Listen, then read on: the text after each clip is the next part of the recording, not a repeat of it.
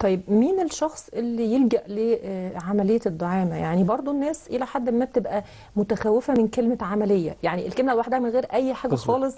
بتقلق فمين الشخص اللي هو يبقى عارف إنه لازم يتوجه لطبيب متخصص لإجراء عملية الدعامة كل من يعاني من ضعف جنسي لابد أن يتوجه للطبيب المختص. مم. لأن الطبيب المختص بيقيم حالته وبيطلب له من الإشعاعات والتحاليل اللي تساعده على التشخيص وال- والوصول إلى الخط العلاج السليم. لكن اللي إحنا بنقول عليه هو للدعامة فقط. كل الأشخاص بلا استثناء تجرى لهم عملية الدعامة. يعني مريض القلب يعمل دعامة عادي بدون مشاكل.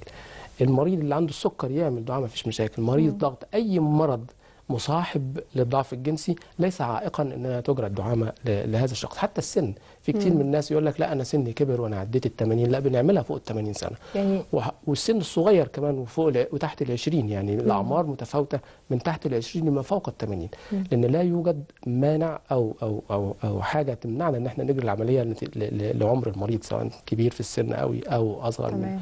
أو في سن الشباب. يعني معنى كلام حضرتك يا دكتور إنه لا عائق تماما على الإطلاق من إنه أي آه، آه، شخص يحس إن هو محتاج أو الطبيب المختص يقول له أنت محتاج دعامة إن هو يجري العملية. مفيش. أي عائق لا ولا في. أي مرض يمنعه. نهائي فعلا هي بس الحاجة الوحيدة اللي بتخلينا آه، ناخد رأي الناس هو المريض اللي عامل دعامة في القلب ولسه عاملها حديثا وماشي على أدوية سيولة. فبنطلب طبعا نقول له يستشير طبيب القلب إمتى يقدر يوقف دواء السيوله لمدة أسبوع أو أسبوعين قبل إجراء الدعامه فقط. هنا يدينا الضوء الأخضر بس وإحنا خلاص إحنا ما عندناش أي موانع دي حاجة مؤقتة وليست حاجة دائمة.